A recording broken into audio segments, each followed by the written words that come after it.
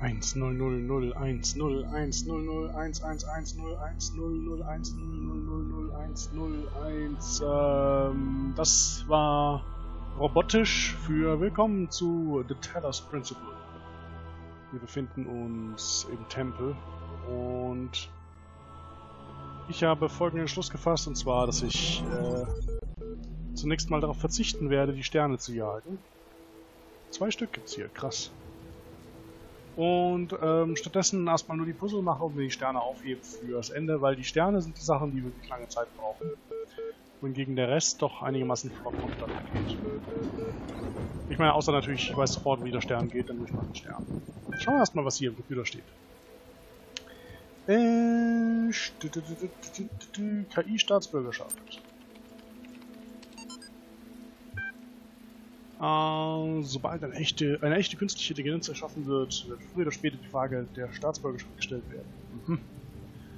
Bei Fähigkeiten des menschlichen Gehirns sollte sie dann nicht auch als Staatsbürger sein? Ist sie nicht im juristischen Sinne des Wortes eine Person? Ja, sehr philosophisch, kann man sich äh, kaum vorstellen, wenn ein Roboter hier äh, juristische Person ist und das plötzlich Mord ist, wenn man ihn erschlägt oder so. Ach, keine Ahnung. Das steht jetzt nicht hier drin, hier steht uns über intelligente Papageienarten, aber mir wurde der Text zu langweilig. Ähm, Ihr könnt ja pausieren und es durchlesen. Ja, schwierige philosophische Fragen zu äh, Intelligenz und was es bedeutet, Mensch zu sein. EL. Erweiterte Lebensdauer. Eine bahnbrechende Initiative, in der sieben führende Universitäten versuchen, den stabilsten und langlebigsten Supercomputer der Welt zu erschaffen. Mit seiner maßgeschneiderten Hardware, bombensicheren Gehäuse und nahezu unendlichen hydroelektrischen Energiequellen stellt EL einen einzigartigen Schritt vorwärts in der Entwicklung der menschlichen Technologie dar. Aha, okay. Ja, sind wir das jetzt hier, der länglebigste Supercomputer der Welt? Das könnte ja schon möglich sein.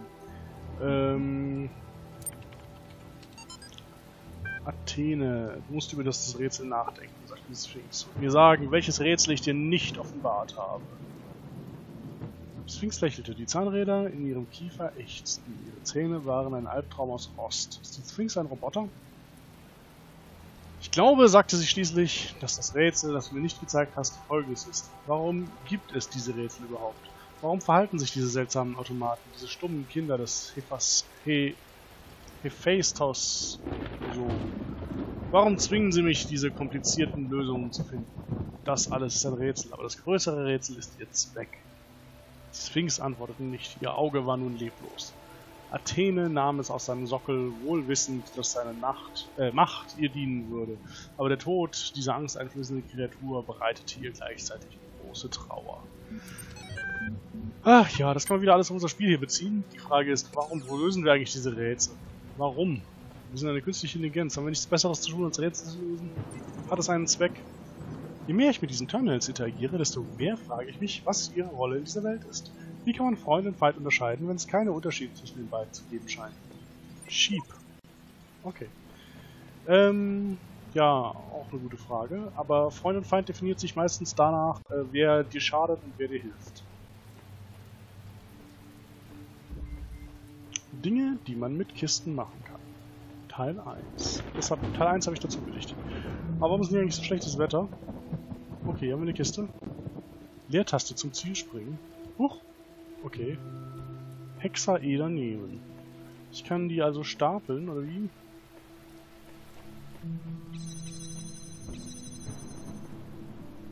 Ich kann die auf Buttons legen. Das war ja das, das war ja der Klassiker sozusagen.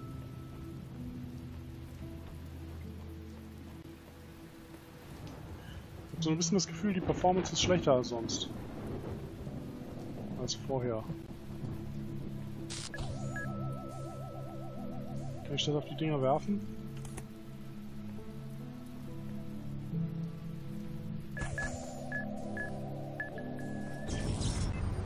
Ähm, ich wollte versuchen, ob ich auf die... Boah, jetzt lag es aber richtig.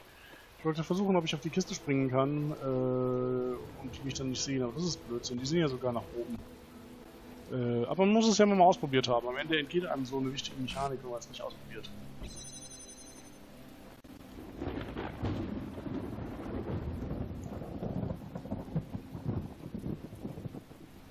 Gut, dann haben wir also zwei Kisten hier.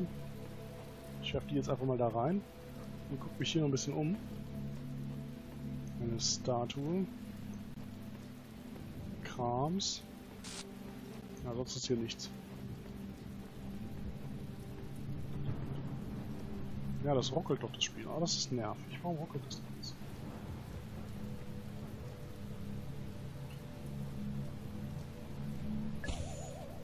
Okay, also die zwei kommen da schon ziemlich perfekt. Ich nehme an, wenn ich hier jetzt... Ja, also rausgehen geht auch wieder nicht.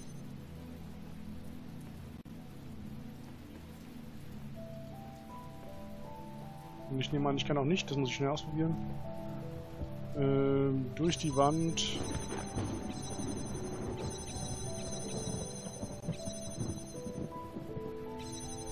Ah, nee, geht nicht. Da kann ich nicht hinspringen. Okay, jetzt das eine Kiste muss auf jeden Fall hier bleiben. Kann ich jetzt irgendwie hier über die Mauer?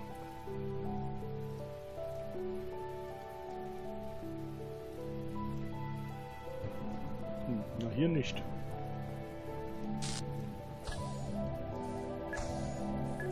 Vielleicht irgendwo anders. RIP, Apis. Oh. Okay, ah, ich habe einen Plan. Ja, ja, ich habe einen Plan. Das Problem ist eigentlich nur, dass die beiden hier absolut perfekt synchron durchfahren.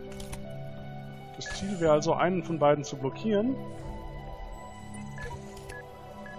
Kindprogramm, bla bla bla bla, endete hier. Arbeitsspeicherprüfung nicht bestanden. Letzter Speicherauszug, ich versuche es. Wieder, wieder. Verstehe nicht. Ich bin unzureichend.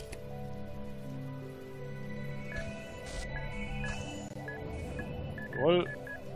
Und äh, wunderbar blockiert und damit können wir hier durch. Damit können wir uns das Teil schnappen. Äh oh nö! Brauche ich hier noch mal ein Kistchen.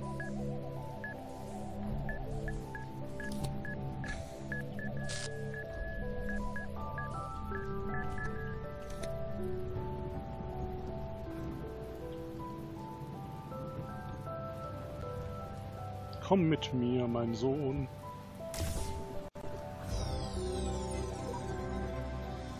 Verstehe nicht, warum der Gestalter solche Fehler in die Welt gesetzt hat. Das fast scheint, als wäre sie beschädigt, aber ich muss glaube, glauben, dass es einen Sinn gibt, den ich nicht verstehe. Aber warum ruft mich denn jetzt jemand an? Ah. So, das war ein kurzer Cut, weil ich angerufen wurde. Ähm... Ist schön hell hier geworden. Der Regen hat aufgehört, das Gewitter. Ah, da haben wir einen Stern. Wenn der Gestalter unfehlbar ist und er mich für einen bestimmten Zweck erschaffen hat, dann muss ich diesem Zweck gewachsen sein. Daraus folgt, dass ich nicht jedes Siegel in diesem Bereich finden und horden muss. Denn mit den mir von ihm gegebenen Fähigkeiten sind so viele von ihnen für mich nicht erreichbar. Sagt er so, von wegen. Manche davon sind erreichbar. Okay, ich brauche eine zweite Kiste, dann komme ich da drüber. Locker, easy. Kein Problem. So ein Stern, der wirkt sehr erreichbar.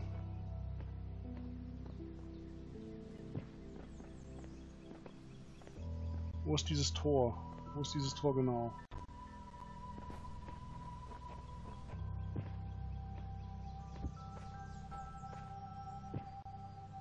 Ah. Braucht einen roten Laser. Vielleicht ist es auch nicht so erreichbar. Okay, ich habe gesagt, ich mache die Sterne erstmal nicht. Darum halte ich mich da dran und gebe mich zufrieden mit den Teilen, die ich gefunden habe. Hier gibt es ein rotes, das haben wir noch nicht. Gehen da wieder schön der Schwierigkeitsstufe nach. Grün, grün, grün. Das sind alle deine Teile. Über den Zaun steigen.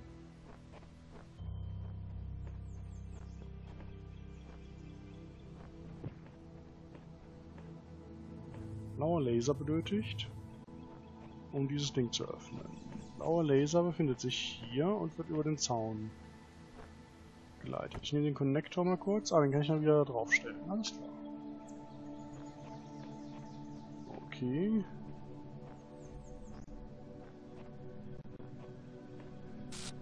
Was gibt es sonst noch so in dieser Welt?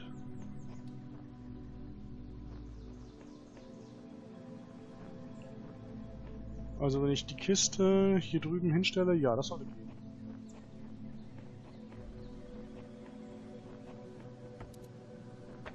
Ich stelle mal den Connector weg. Und die Kiste muss hier hin. Oh. Ich glaube, die Spielperformance ist gerade echt nicht so geil. Es tut mir echt leid. Aber jetzt einen passenden Rechner, um das hier aufzunehmen. Letztes Mal ging das doch eigentlich ganz gut.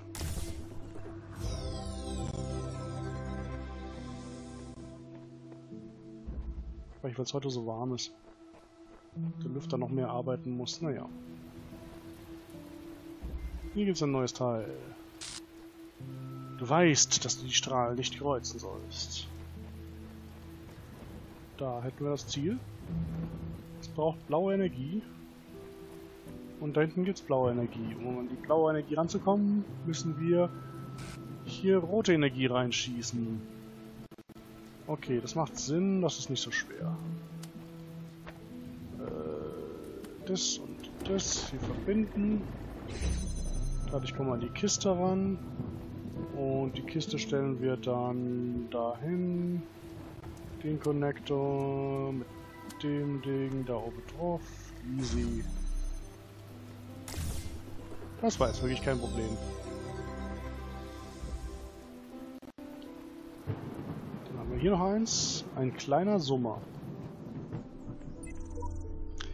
Ich glaube, etwas stimmt nicht. Wenn du gesehen hättest, was ich am Rand der Welt sah, würdest du dich wundern, warum nicht alles aus sämtlichen Nähten aufgeht und platzt. Ist das ein Hinweis, dass ich zum Rand der Welt gehen soll? Okay, da fliegt ein netter, freundlicher Blaubot. Der tut mir nicht weh, der ist kaputt oder so. Äh, die Connector habe ich mir gerade weggestellt. Hier hinten war nichts mehr. Hier ist rote Energie. Ja, rote Energie. Die dahin muss, okay. Also. So. Ah ja. Verstehe das Problem. Äh, Kiste. Hey, gerade was offen, oder?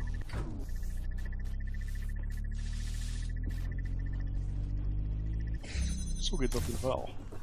Warum gibt's denn hier eine Leiter? Ich kann auch leider nicht die Leitern hoch und oben auf der Mauer stehen bleiben, das funktioniert nicht. So, waren das schon alle Puzzleteile, bis auf das rote?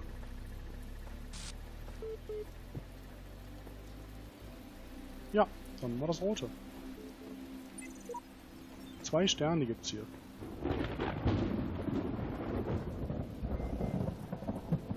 Freundliches Kreuzfeuer. Okay. Also da wird ja schon mal massig geballert. Aus allen Rohren. Hier drüben haben wir einen äh, Jammer. Boah, ist das dunkel hier. Deswegen ist das Level rot. Man kann einfach nichts erkennen, weil es dunkel ist. Hm, dann... Kann ich hier hinten vorbei? Ich glaube nicht. Das wirkt so, als würde die das komplett abdecken. Wenn ich aber den letzten ausschalte, müsste ich dann da vorbeilaufen können. Oder? Ich probiere es mal aus. Das hat funktioniert. Allerdings gibt es hier hinten nichts. Ja, da vorne ist eine Kiste.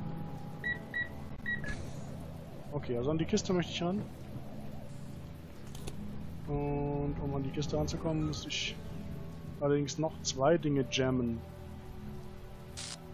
Ähm... Ich meine, ich kann das jetzt mal ausprobieren, aber ich glaube nicht, dass ich da jetzt reinlaufen kann und mir die Kiste hole. Nee, nee, so habe ich mir das gedacht. Das muss man ja mal ausprobieren.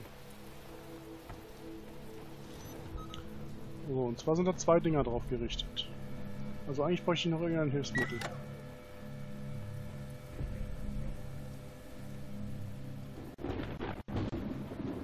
Boah, Blitz, Blitz.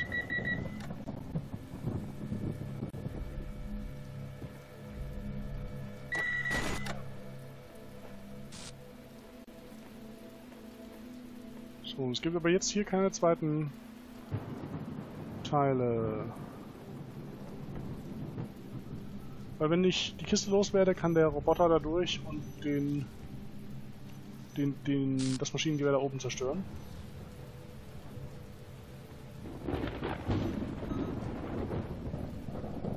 Ah, das ist schon der Durchgang. Das ist schon der Ausgang. Ich kann ja mal das hier stören. Ah, da kommt noch einer. Ja. Okay, der wird vielleicht... Ja, den hat... Okay, alles klar. Jetzt haben wir das. Hätte gleich am Anfang mal die Türen stören sollen.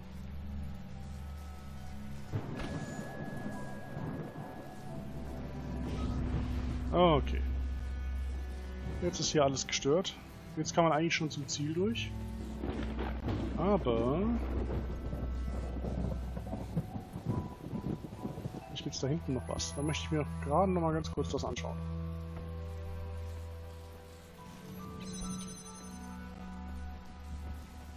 Ah. Das war jetzt eher ein leichter Stern.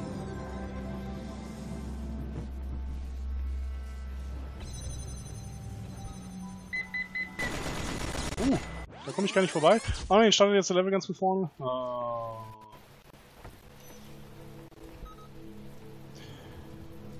Ähm, ja, das äh, war jetzt ein bisschen doof.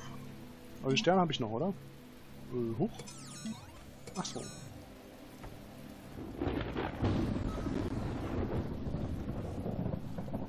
Ach, da ist ein Button. Jetzt sehe ich's.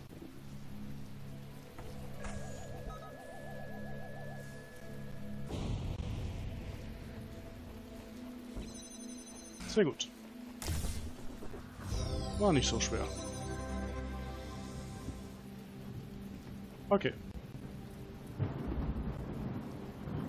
Dann können wir von hier verschwinden.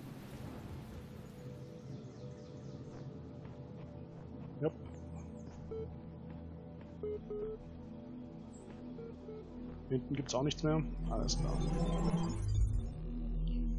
Dann nichts wie raus. Und dann gehen wir in die 6 direkt. Oh, jede Menge rote. Hollala, die Waldfee. Okay. Vor langer Zeit habe ich diese Welten entsprechend dem Zweck der verborgenen Worte erschaffen. So haben alle Dinge einen Sinn, wo vorher nur Chaos herrschte. Wisse dies und zweifle nicht. Alle Dinge haben einen Sinn. Okay, was ist der Sinn dieser Säule? Warum steht sie hier? Was tut sie? Was trägt sie? Sie trägt nichts. Ah, ihr Sinn ist dekorativ. Alles klar, habe ich verstanden. Achtung, Sie haben eine Antwort auf Ihr Support-Ticket erhalten. Antwort anzeigen? Ja. Inhalt ARG. Ihre Anfrage konnte nicht bearbeitet werden. Wir bitten hierfür um Entschuldigung. Haben Sie das Standard-Fehlerbehebungsverfahren befolgt? Löschen Sie das bereits vorhandene Benutzerkonto. Okay. Stellen Sie ein neues Administratorkonto. E-Mail an den Netzwerkadministrator. Okay. Neues Administratorkonto. Um unberechtigten Zugriff auf Admin-Funktionen zu vermeiden, können nur Personen neue Administratorkonten erstellen. Ach, können nur Personen neue Administratorkonten erstellen. System wird nun Fehler, Benutzer hat kein registriertes Konto, aber Zertifikationsdaten wurden bereits erstellt. Möchten Sie den Zertifikationsprozess erneut beginnen, um ein besseres Ergebnis zu erzielen? Na gut.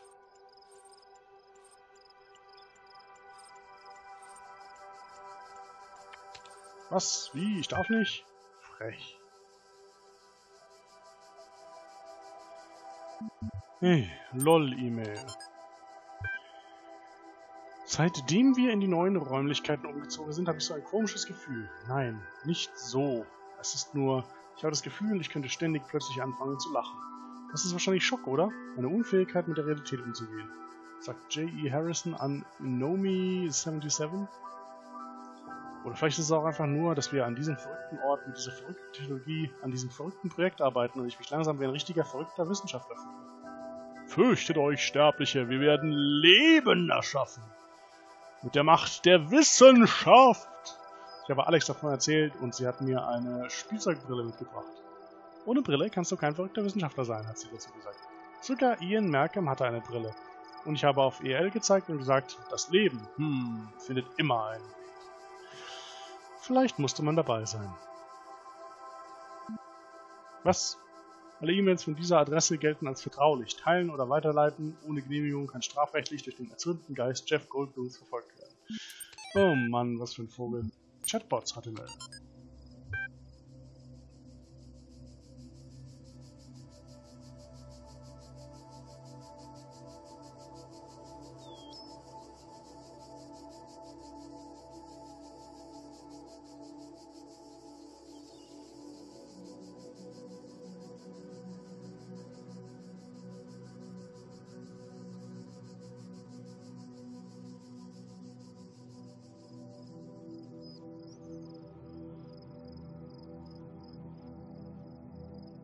Ich hätte es vorlesen sollen. Das ist eigentlich ganz lustig. Aber das habe ich jetzt mal im Stillen gelesen.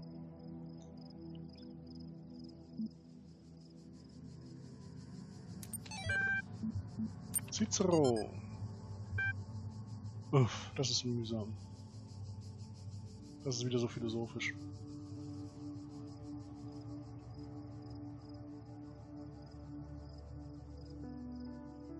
Ja, egal. Das interessiert mich nicht. Das hat für mich keine relevanten Informationen.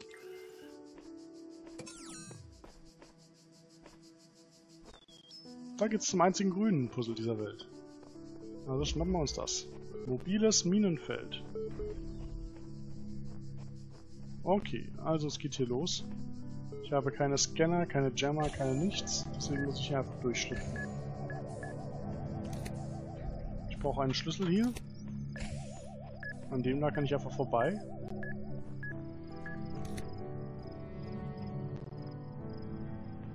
Kein Schlüssel hier hinten. Kein Schlüssel hier drüben.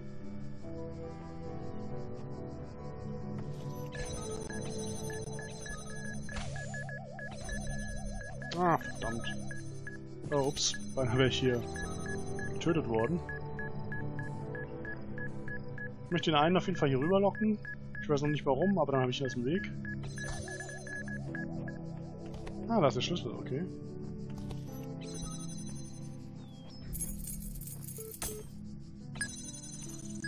Und dann möchte ich hier aufschließen. Und unser nettes Gerät da oben jammen. Und vielleicht war es das schon. Nein, war es nicht. Das müsste das hier deaktiviert haben. Korrekt. Dann war's das jetzt. Genau, und da hinten geht irgendwo ein Zaun auf und ich kann hier raus.